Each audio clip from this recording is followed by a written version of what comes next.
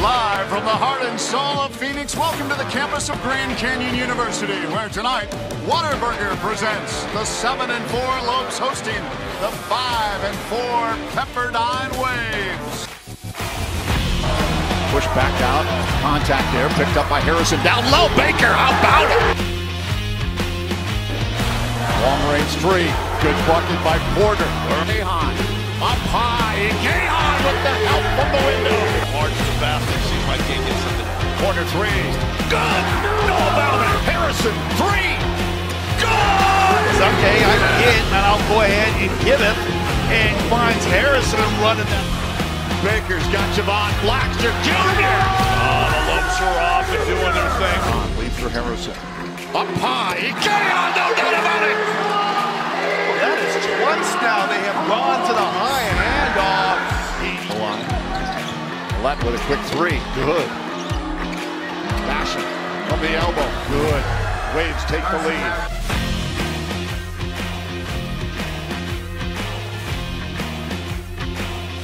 Lopes need a spark. Who's going to get it? Harrison? Yes! Right to the bucket. Pushes into a Drago. That's how you take it to the hole. It's kind of like icing the shooter without icing the shooter visually.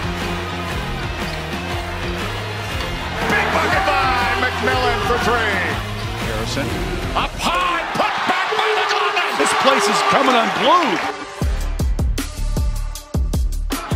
Mitchell. Oh, picked off. Harrison to Blacksher Jr. Off the window and in. Looking to move on the left.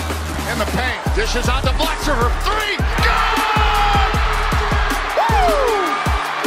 Twisting, turning, stopping. Underneath. No call. Waves throw up a shot off the mark. Overtime we go. Tied at 68. Baker, baseline drive, got a little bit of room. That's sprung out. While underneath, who'd they get? Porter? Yeah. That'd be five. Weaving around the corner. How about the drive by Chance McMillan? Ah. Sneaky, sneaky. Weaving around, sweeping right hand, pulled down by McLaughlin again. Improving to eight and four on the season with a 10-point victory over the Pepperdine Waves. Lopes win it. Lopes win it.